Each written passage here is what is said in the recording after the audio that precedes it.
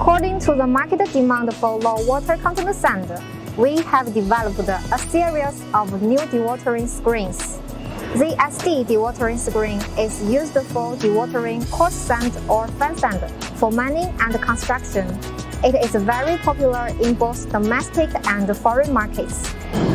Today I'm going to introduce you to the ZSD dewatering screen. Now let's see how it works.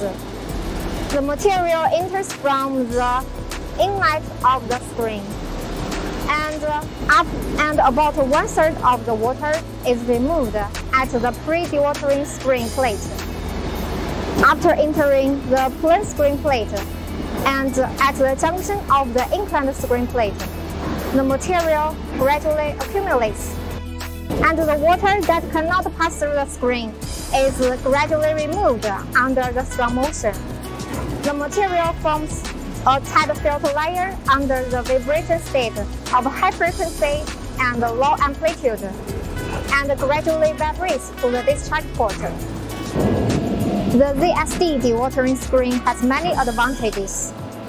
First, high vibration frequency, complete dehydration, and large capacity. The maximum output can reach 250 tons per hour. Second, the power source adopts vibration exciter, which is stable and reliable with low maintenance cost and can work continuously 24 hours. The cross beam and the screen body are connected by the high-strength bolts without welding, which is convenient for disassembly and maintenance.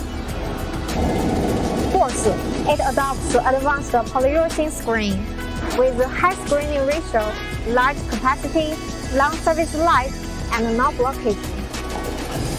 Fifth, it has the advantages of simple structure, less replacement parts, and convenient maintenance. Okay, above is the brief introduction of the ZSD dewatering screen. If you are interested in it, please feel free to contact us. Thank you.